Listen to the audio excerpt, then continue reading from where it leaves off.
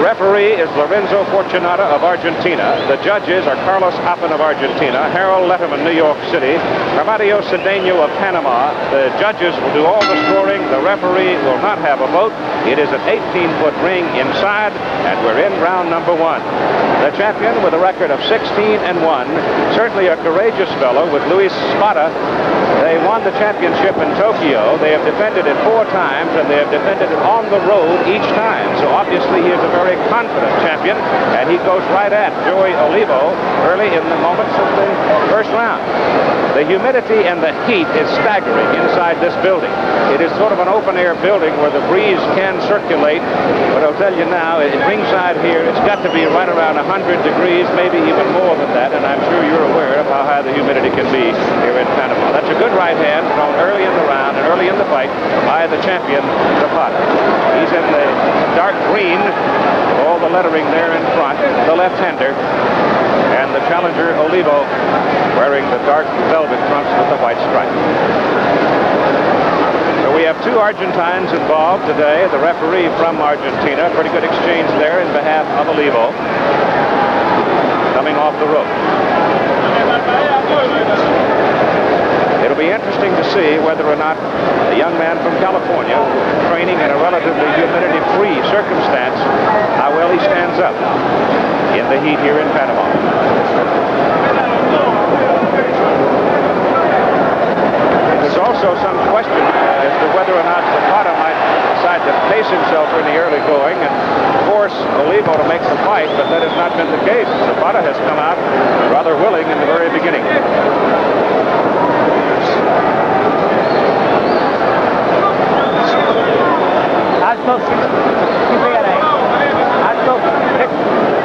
Joey Olivo sort of got himself with his ability into the position where, one, it was very hard to find anybody to train with at 108 pounds, 110, 12 pounds in Los Angeles. He did, however, spend a lot of time working with Albert Davila, whom we saw back in December in a valiant uh, challenge of Lupe Pintor.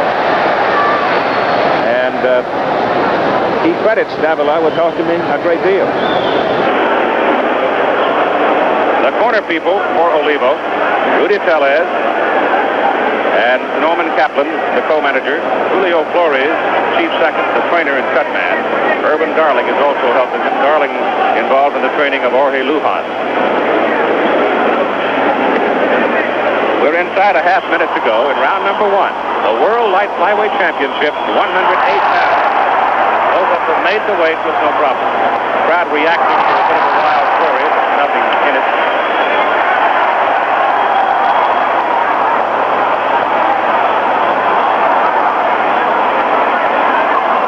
First of 15 scheduled rounds is now over. Round two, World Light Flyweight Championship, 108. The limit. The champion weighed in officially at 107 and three quarters. But considering the water weight that he's added. Zapata on that rock Olivo. Straight left, right to his face. Real solid blow of the fight. He's probably up around 10, maybe even 12 at the call for the bell. Olivo, on the other hand, has no trouble staying under a 108. In fact, uh, has to eat pretty heartily to get up to 107. Makes him one of the marvels of this kind.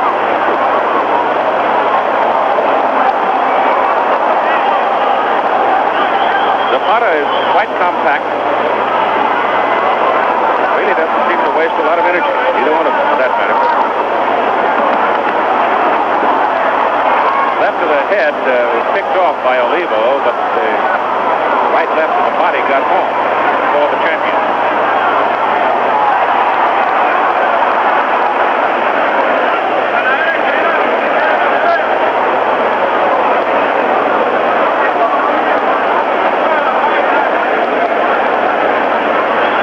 Zapata stands 5'6", Olivo just under 5'8". Zapata won his championship on March 24 of 1980. Defended it in Korea. Defended it in Caracas. Again, Nakajima. And Becerra in Caracas in December. On his way to Korea for the defense against Chi-Bok Kim, he stopped off in Los Angeles to catch up on the time zone and do some training, and he worked out at that point with Olivo. Joey doesn't come in really cold against the champion. He knows something about him.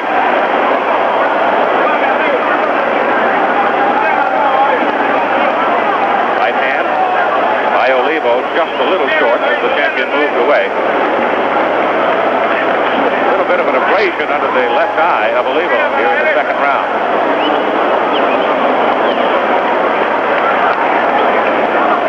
Only been cut twice of any consequence in his career. His only loss was to Vargas in Santiago, Chile.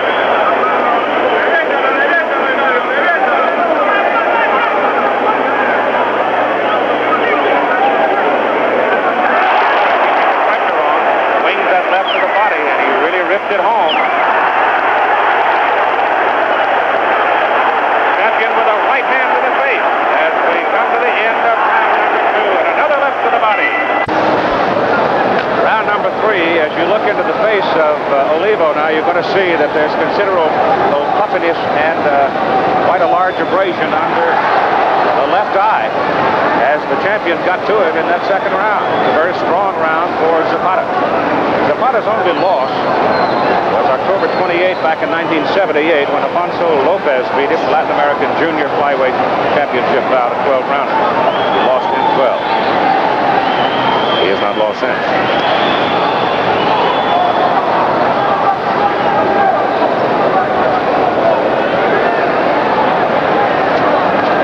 First time I've seen the champion, and he's a pretty good-looking boxer tries to tie him up, and Zapata just hammers away at the body when Joey released him. He got away from a winging left. The champion, I would say right now, is making this fight.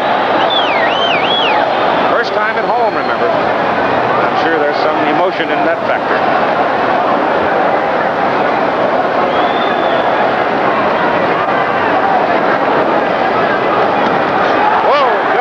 Right to the body and a left to the side of the head by Zapata. He is beating Olivo to the punch. That was one of the things Joey talked about yesterday. He had to get off first. He was concerned about taking some of the ring away from Zapata, who has good movement. But he hasn't had to worry about that. Champion's been coming right to it.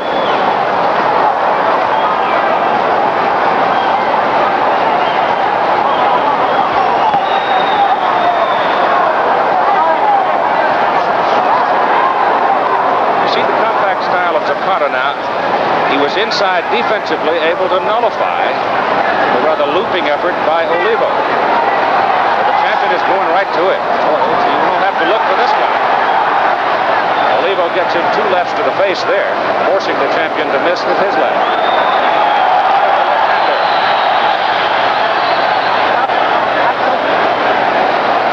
Olivo with about a four and a half inch advantage in reach, but it hasn't him so far.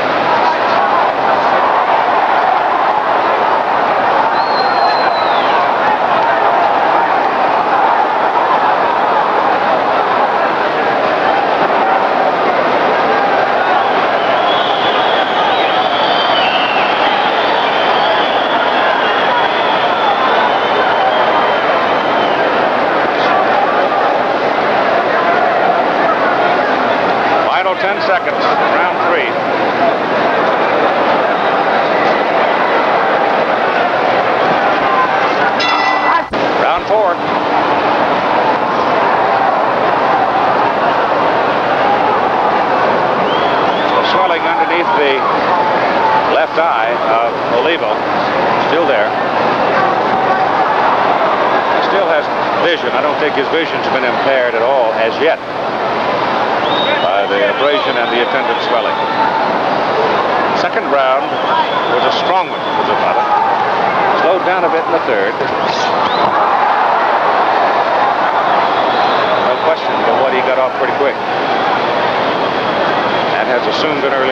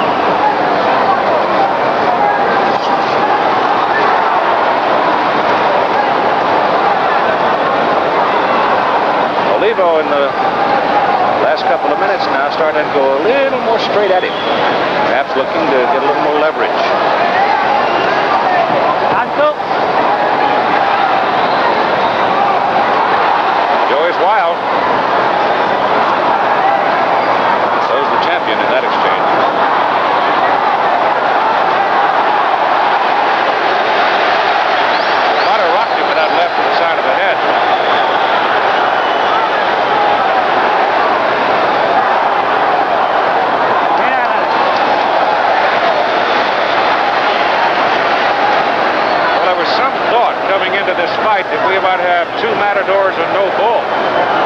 But that has not been the case. They have been willing from the first bell. That's a good left hand right on the jaw of Olivo. As he ducked away, he caught it. May have hurt him. Zapata ripping away.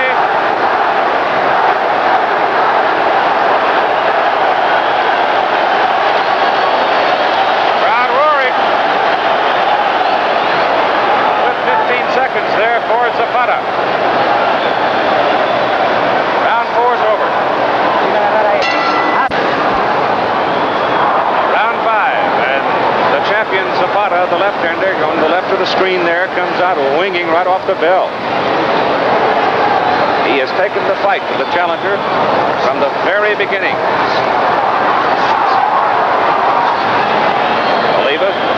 abrasion and swelling under the left eye. Has really, again I'll say, not stung the champion yet. But on two occasions, Zapata visibly rocked Olivo. Neither one of these young men go easy, to tell you that. You don't compile the kind of record they've had. Now we've got some blood coming off the forehead of the champion. I uh, can't exactly see where it came from. Up around the hairline, I believe. So in that melee, at the very beginning, it looks like they might have butted. Zapata bangs a left to the face, and the blood is coming from right up around the hairline.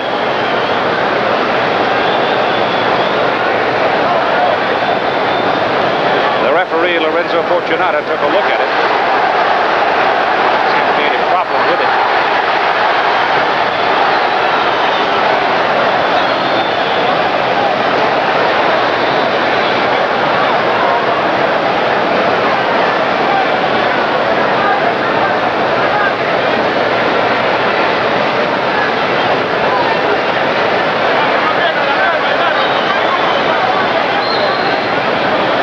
take a look in slow motion. Sure, it was a butt that caused it because they stuck their heads right in there together at the beginning. And uh, Zapata, the champion, sustained a minor cut up near the hairline as a result of it. We'll take a look at it. Zapata working very well to relieve his body. Almost every time they've been been able to do some damage to the body. Zapata going after him.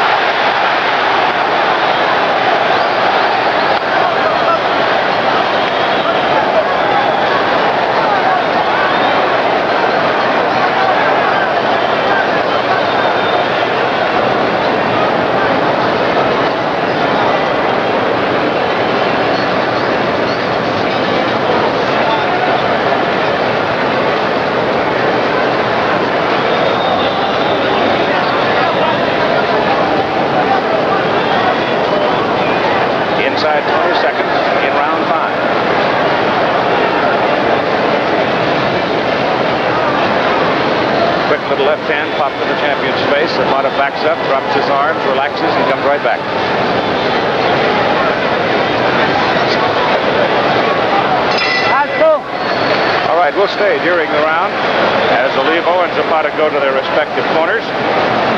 And here's the moment early in the round. You see him go in close, bang heads right there. And that's what caused the slight cut up in the hairline over the forehead of the champion. Luis Spada, his manager, is uh, his trainer and uh, cut man as well. So they are working clothes that got up there. The blood really wasn't that obvious. It did not seem to impede the champion in any sense. I'm frankly surprised that uh, the champion had just absolutely made the fight, refusing to let Joey Olivo have any opportunity to get something going on his own. And he's been struggling with a very heavy abrasion under the left eye with some swelling since the second round. But he, Olivo, has not been able to get off in front of the champion yet. But this is scheduled for 15. It's got to be at least 100 degrees in the ring. Who knows what may happen between here and 15.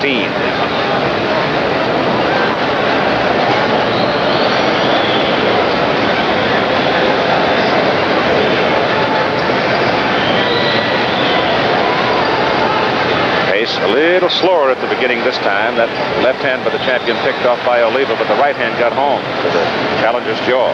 Olivo's the one in the long trunks with the white stripe down. Joe not able to get it. Zapata seemingly very confident. As I said at the very beginning of the fight, he must be a confident boxer because his first four defenses were all away from home. You go to Japan, Korea, Venezuela a couple of times, you're not always sure that uh, you're going to get a call in a close fight.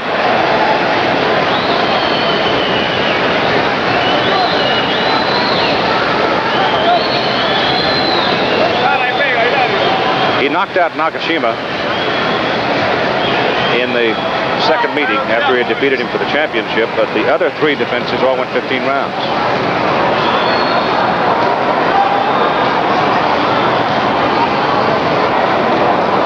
up on the halfway point, round six.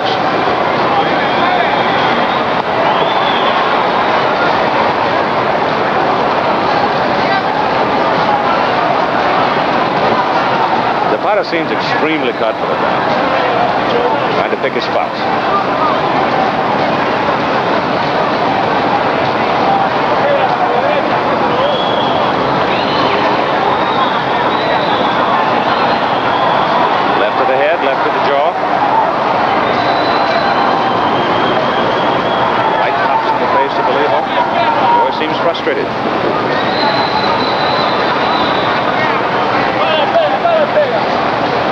Hard to the body, Olivo did, and got it there. Champion pops the right hand into the face of the challenger again. Pace is slower. you could not go 15. I don't care how well conditioned they are. They couldn't go 15 like they were wailing away at each other in the second third and fourth rounds. They have got to slow the pace a little bit. But to say it again, the thing that's most impressive in the fight right now is the absolute confidence of the champion, Zapata.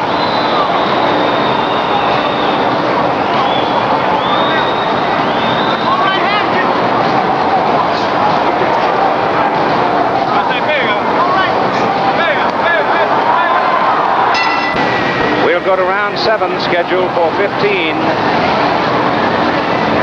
Where I'm sitting, I feel the champion has taken control of the fight and is steadily building a solid foundation for a successful defense. Unless Olivo can find some way to, one, penetrate the defense. And probably the best way for Joey to do that is just simply make up his mind to throw the first punch.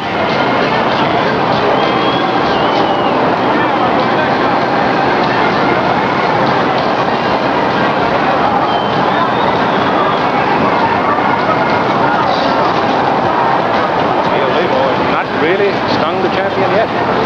Not recently. Uh, right hand almost did, but again, not able to pick it off. Next week on ABC's Wide World of Sports, we'll have the WBA Featherweight Championship fight from the same arena here in Panama City. Eusebio Pedroza, WBA Fighter of the Year, against Patrick Ford of Guyana. That should be a.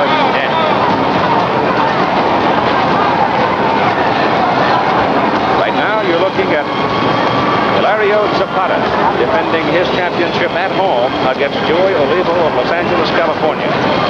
And we are in round seven. We'd like to alert our local stations along the way. At the end of this round, we will take a station break.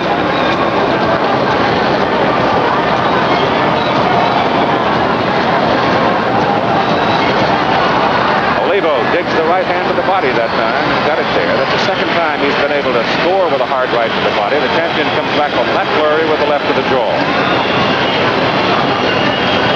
The champion has up to this juncture thrown the greater number of punches and landed the greater number of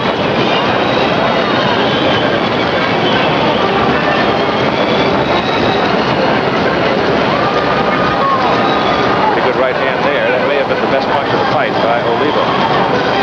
But even so, Zapata was able to slip and escape most of the force.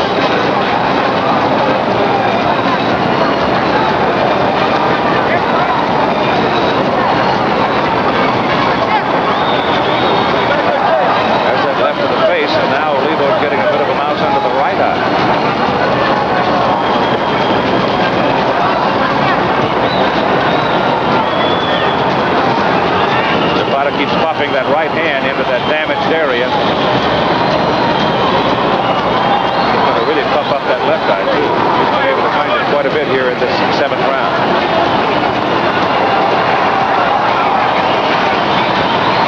We'll be back with more of the Zapata Olivo WBC World Light Flyweight Championship after this word from our local station. Here's round eight. And again, the champion comes out and throws the first punch of the round. He's done it consistently. Zapata pursuing Olivo.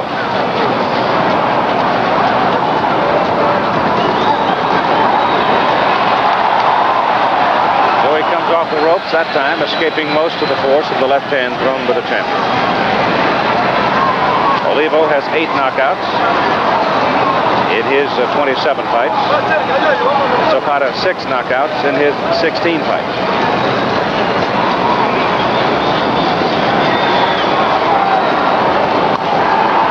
Right to the face, hard left to the body by Zapata. Back he goes, same routine, and then flashes the right back into the face of Olivo. Every time Olivo seems to set up and get ready to go with a series, the champion beats him to the punch.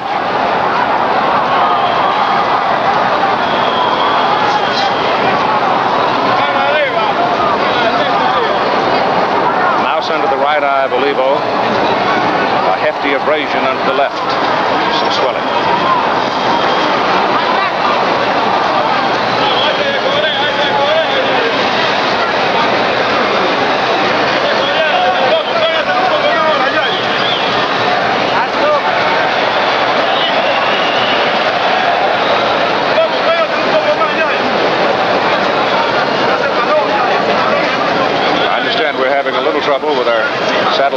Transmission. Picture's a bit less than we'd like it going into the States into New York.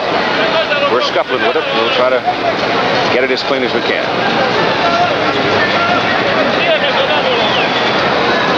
We're in round eight. 108-pound World Boxing Council's World Light Flyweight Championship, title held by Hilario Zapata. On the right-hand side of your picture, Joey Olivo is the number two ranked challenger and the one man that Zapata's people admitted they really didn't want to take on. German Torres of Mexico is the number one contender in this division. Uh, the winner of this fight is going to have 30 days to negotiate and 90 days in which to defend against Torres.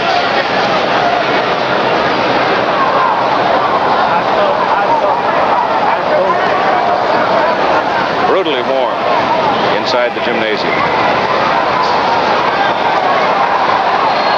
Olivo getting a right and a left to the side of the head of the champion, but neither blow seemed to have a whole lot on it.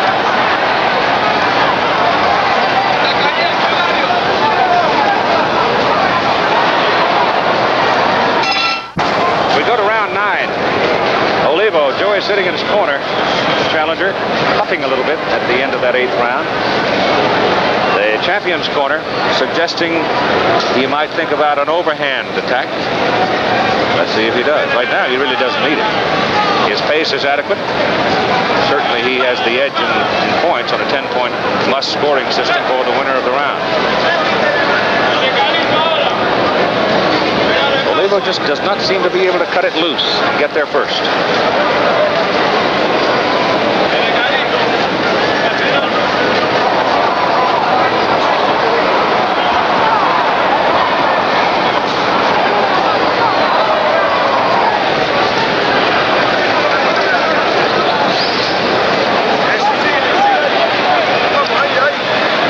Champion a bit wild there.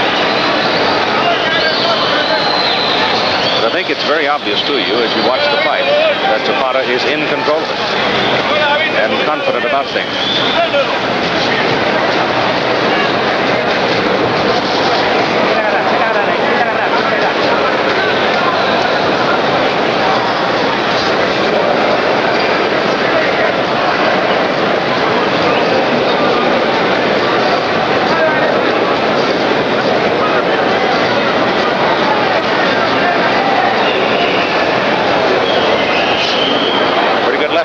By Olivo.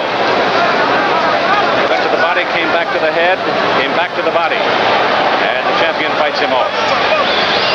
Zapata got himself flat-footed that time, and Olivo found him. He goes back to the body. That was almost low.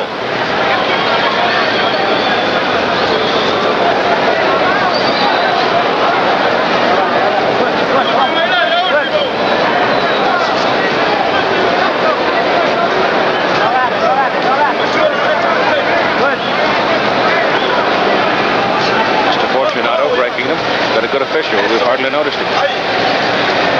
Champion gets wild there, but gets away from the right hand by Olivo. We come down to the end of round nine.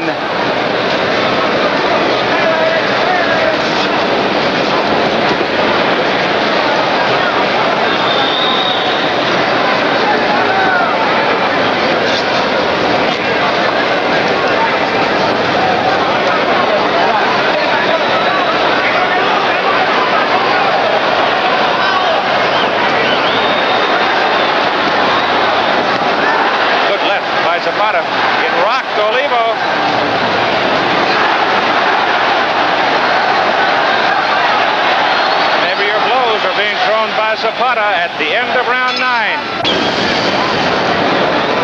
Now round 10. World Light Flyweight Championship, 108 pounds. The amateur ranks today, it's 106. We saw a very good light flyweight bout amateurs last week with a gold medal winner from the Soviet Union against Israel Acosta of Milwaukee. A fight that I frankly thought Acosta won, but didn't get the call.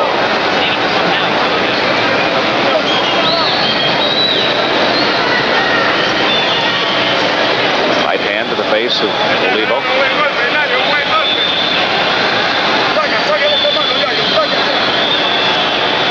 Left misses. Olivo would have clearly won that last round, but the champion closed with a big flurry and rocked him with a left to the jaw in the closing 20 seconds.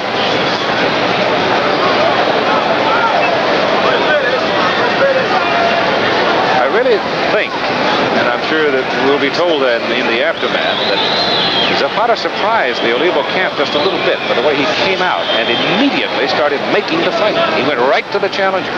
They thought they might have to spend a goodly portion of this fight chasing him. Because it is the old rule of thumb, the foundation philosophy, that if a challenger wants a championship, he's got to go after it. That has not been the case. The champion has certainly not been very hard to find.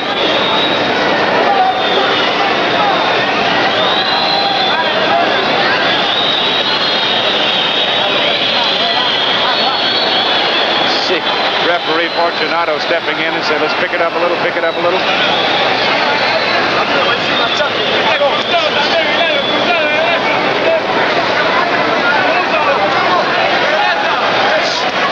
There's a right and a left to the champion's head by Olivo.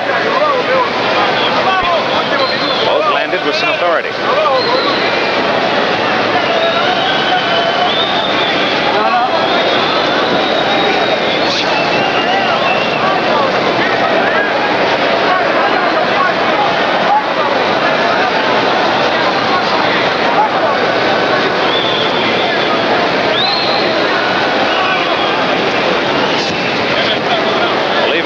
Going a little stronger.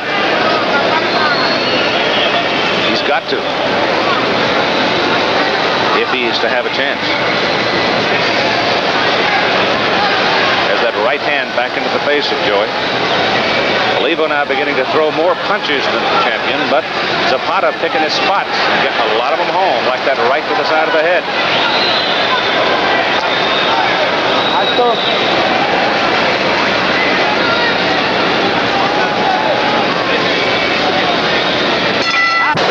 Back to his corner. He looks fairly fresh. There's a little bit of a leak on that cut over the eyebrow, and there's Eusebio Pedroza that we'll be seeing next week against Patrick Ford in the WBA Featherweight Championship. Good-looking young man, and with tremendous promise for the future. The WBA title in his pocket right now. There's your champion, Hilario Zapata, working in his corner on him, and across the way, Joey Olivo getting the ministrations of Julio Flores, Norman Kaplan, and Rudy Tellez. We've invited Duran to come over and visit with us, talk about whatever he'd like. Doesn't want to. It's his privilege. Understand that he has sold some of his story to New York City newspaper. I guess eventually you'll hear more about the Leonard Duran fight and the attendant aftermath. There's some conversation that Duran is to be matched, at least they're trying to work it out, with Maurice Hope.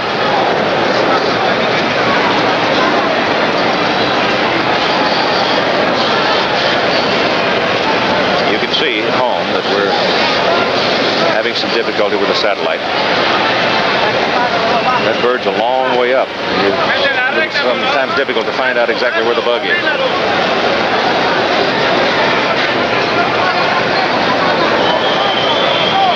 Pace is slowed. Actually, the first eight, in the eighth round, I thought Zapata slowed his pace somewhat. He had been on a rather furious pace through five of the first six rounds He slowed up some, started picking his spots a little bit, started loading up a little bit more.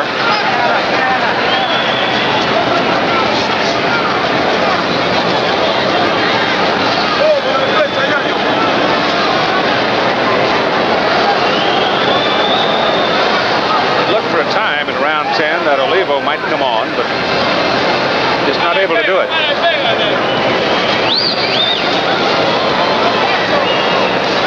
There's that left, ripped to the body of the challenger by the champion. Comes back to the head, he's wild. Olivo with his back to you there. Right pops to his face. Still has good vision, however, out of that left eye that was bruised back in the second round.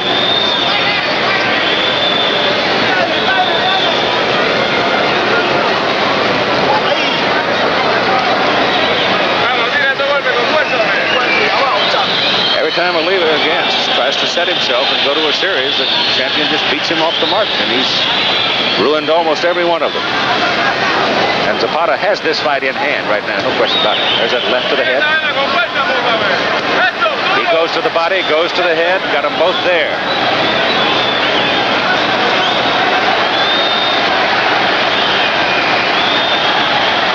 At a half minute to go. The champion trying to get a run going as he was able to go to the body, go to the head, and then back to the body.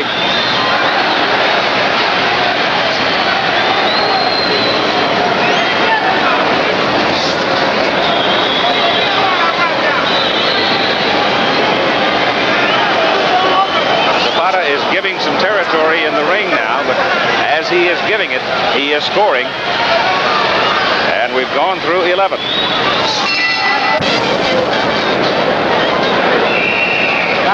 right, we're back in Panama, Frank. Thank you very much. And we're heading into round number 12. I'm going to be looking for the first bucket of water to jump into when this is over. Right, the champion in control of the fight as they come out. He comes out for really the first time without landing the first blow of the round. Roberto Duran has now come over to sit down with us, and we'll visit with him in between rounds. Olivo flicks the right to the face. Champion backs up, gets away from it. Joey's been a little more precise here over the last couple of rounds than he was in the early going.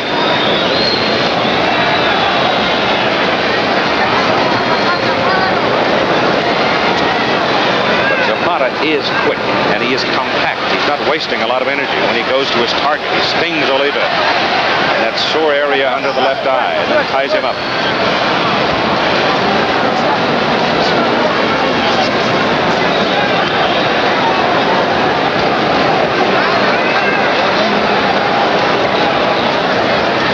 We'll be talking with Roberto Duran at the end of this round.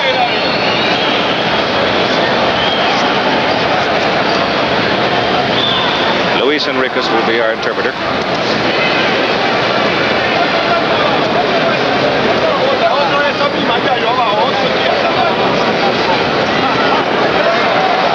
See the champion go to the body, go to the head, go to the body.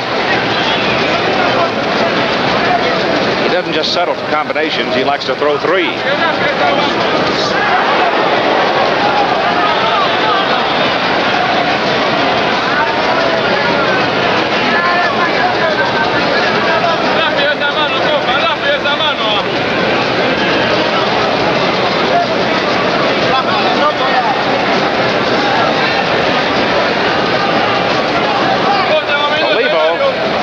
Looks weary now. Perhaps it's frustration. Less than a minute to go in round 12. Zapata, on the other hand, composed and seems fresh.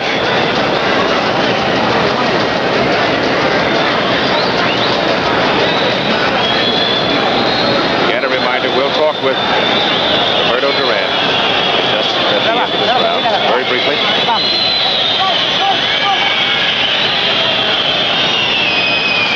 Maurice Hope, the super welterweight, junior middleweight title holder. They're talking about a bout for Duran with him.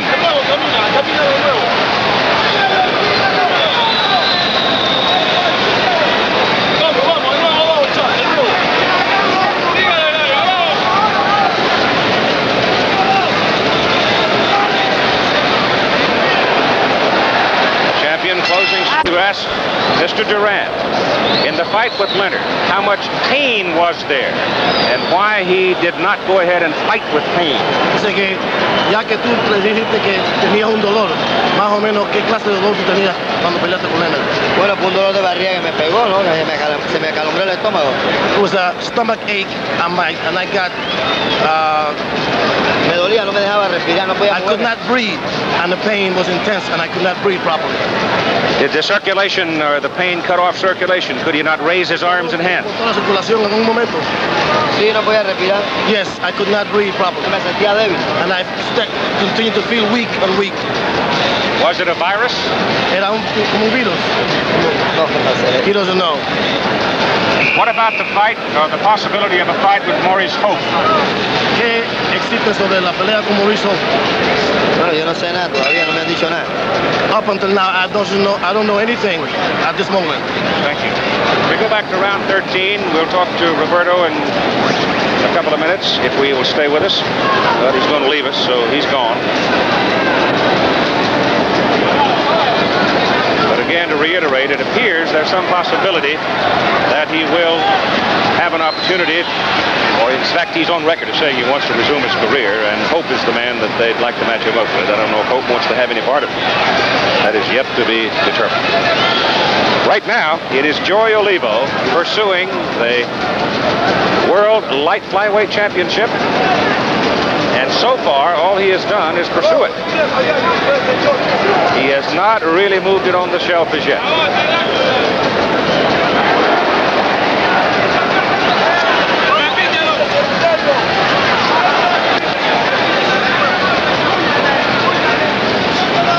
Obvious to you, I'm sure, that in the final 30 seconds of each round, the champion has been the stronger, and now you see that right and the left, and the right and the left, and the champion marching toward his challenger.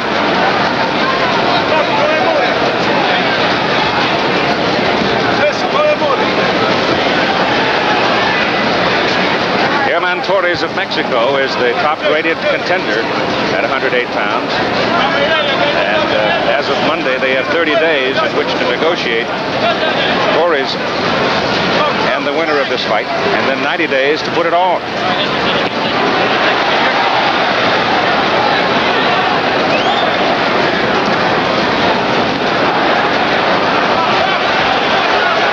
This has been from the second round on Zapata's dance.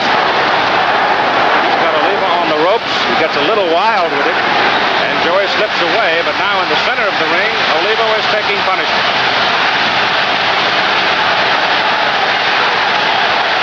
He's hurt and he's tired.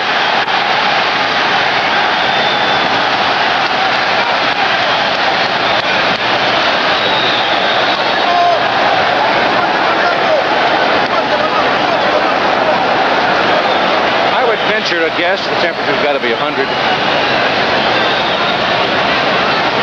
Wondering about the factor of fatigue and why Joey might be suffering a little from it. I don't know if it's the heat and humidity that's been his big problem, though. I think Hilario Zapata is his big problem. Zapata's going after him. He's trying to get him here in 13. It looks like Joey may be able to escape it. So far, this has been the most one-sided round of the fight.